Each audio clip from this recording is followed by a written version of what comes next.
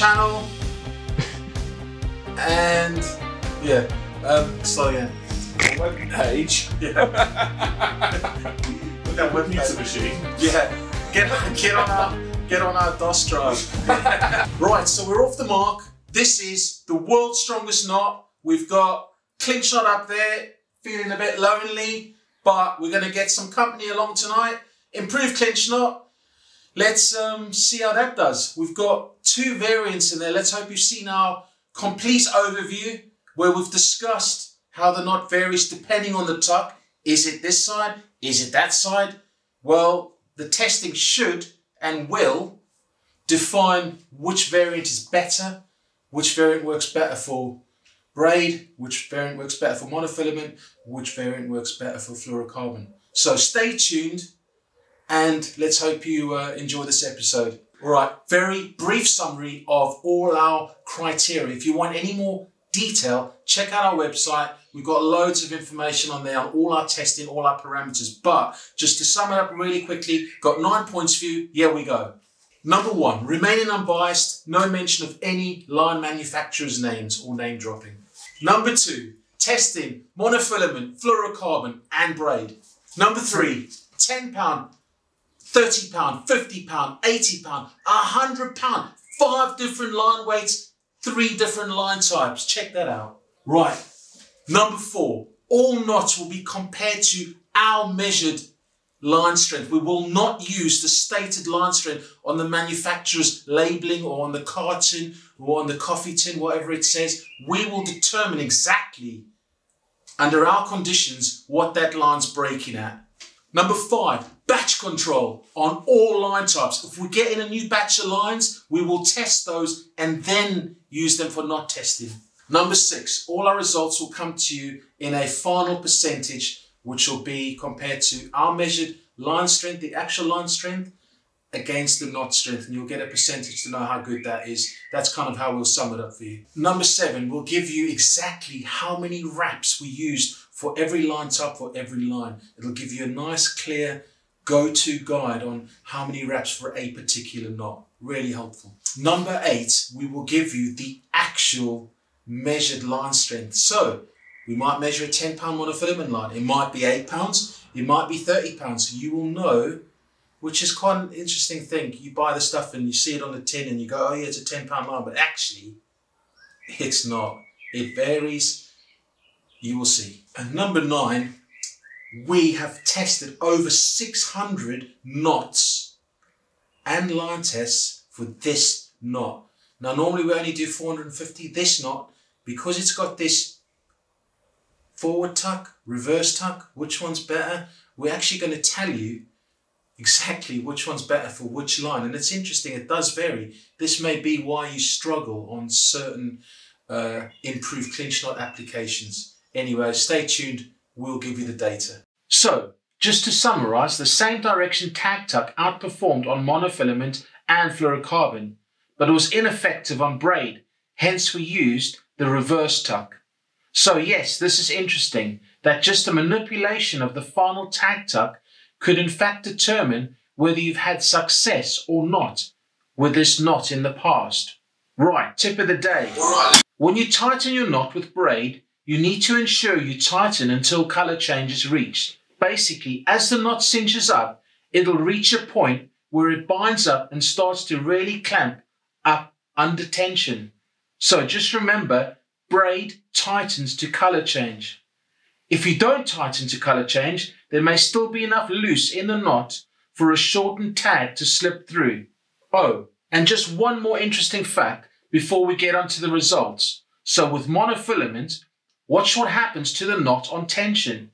It extends and opens up a gaping big hole, as we mentioned in the overviews before. It's just crazy how much it stretches open. This is why the clinch struggles and why the improved was born into existence. This is the same direction or clockwise tuck under tension. This is the reverse tuck or anti-clockwise tuck under tension. This also shows how much the reverse tuck struggles with mono and fluorocarbon as the line stretches under tension. Okay, let's take a look at the results. This should be the good bit. Hope there's no clangers or big upsets on the latest competition results. Right, let's look at the monofilament results.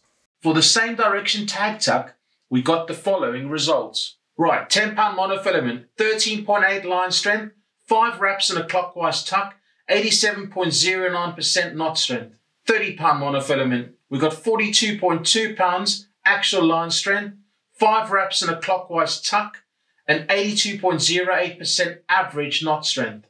For 50 pound monofilament, we've got 66.79 pounds actual line strength, 5 wraps with a clockwise tuck, and 87.65% knot strength.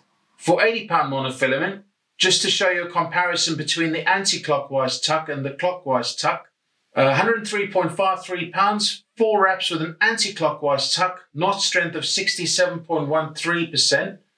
And for the other 80 pound monofilament with the clockwise tuck, also 4 wraps, 103.53 pounds line strength, and 67.53%. So you get in an extra almost a half a percent strength with the um, clockwise tuck. And finally, 100 pound monofilament, 117.96 pounds actual line strength, four wraps with a clockwise tuck, and the knot strength average was 80.49%. Okay, we've seen monofilament. Let's check out the fluorocarbon results. 10 pound fluorocarbon line, 11.41 pounds actual line strength, four wraps with a clockwise tuck, and an average knot strength of 74.71%. For 30 pound fluorocarbon, the actual line strength was 27.59 pounds, four wraps and a clockwise tuck, and knot strength of 79.2% average. For 50 pound fluorocarbon, 42.35 pounds line strength, four wraps with a clockwise tuck, and 74.32% average knot strength. For 80 pound fluorocarbon, 58.68 pounds line strength, three wraps and a clockwise tuck, and 86.96% for the average knot strength. Okay, finally braid. Uh, look at the wraps. It's going to be like similar theme to the clinch knot. Check it out. Let's have a look.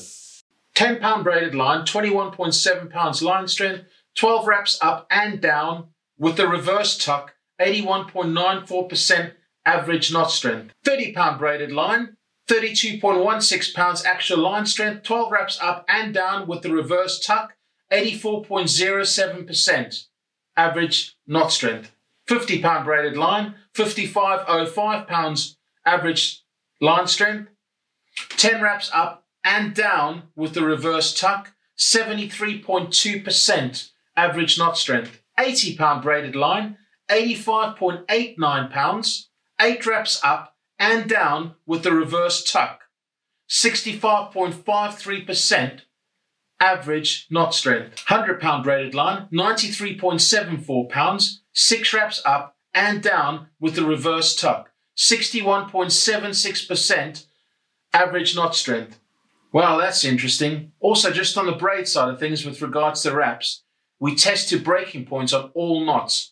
So, for example, when you tighten a knot by hand on, say, a 100 pound knot in braid, you may only be testing its strength to 30 or 40 pounds. You'll be surprised how many additional wraps you need on that really slippery braid. I hope you're enjoying the detail. I hope you're enjoying the content.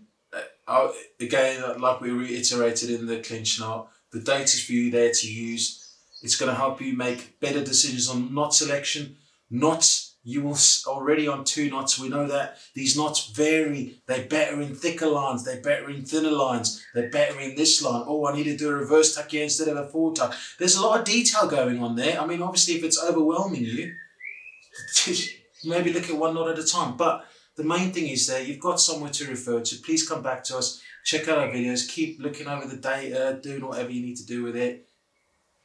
But stay tuned. Give us a like, subscribe Comments below. Let us know you're enjoying it. Cheers, guys.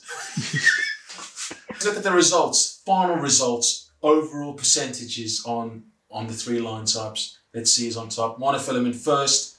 This week we're introducing the decimal point because it sounds better. 80.97%. Step down, Mr. Clinch Knot. Right, let's look at fluorocarbon. Interesting result. Improved got 78.8%. Now that's interesting. The clinch knot's still on top. Can you believe it? The simpler the knot, maybe it improves the strength. Well, it definitely did on this case. So braid, let's see how close the margins are. 73.3% on braid. I mean, how freaking close is that? Uh, that's like, well, they're almost as good as each other. But we'll put improved on top. It got the better 0.3% or whatever it is. Yeah, whatever it is. and uh, we have a new leader. Leader. Quick summary. Did it outperform its predecessor? Now the clinch knot's probably been around for like thousands of years, probably. Who knows? The salmon knot. Well, what a name is that? It outperformed on two categories, although it didn't trump it on the fluorocarbon. Interesting. This is toit fishing. I'm Warren. That's Jasper. Get the kettle on. And don't forget, braid tightens with color. And like, subscribe, get on our website, give us a comment below. Let us know if you like the reverse or the forward or the forward reverse tuck, which one's going on. And don't forget, prompt you about the um, extra. I can talk about the braid topic for a long time, show you all those graphs. Let us know if you want us to do that video. Take care, and uh, this is Toit. All right, let's go. Hey guys, Warren here from Toit Fishing. Um, get Like. out. what the hell? Okay. Hey guys, Warren here from Toit Fishing. Like, subscribe, get on our website, and check out our YouTube channel. We need a few numbers. Please, God, get on there and uh, give us some uh, comments, give us some feedback, and just tell us how we're doing. You know, we're only, we're only new to this and uh, we're just getting started. So, thank you very much. Cool. choose better knots. Maybe choose different line types. Going to give you a lot more uh, info to make decisions. So you've got more fish on the bank and less uh, fish on the.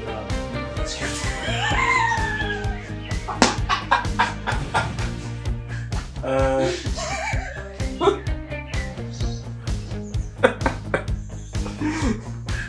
freaking That's, this- that's my favourite one so far. the More fish on the bank, less of them PCC swimming around.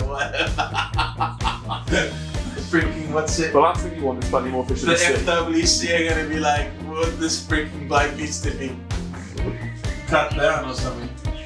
Uh,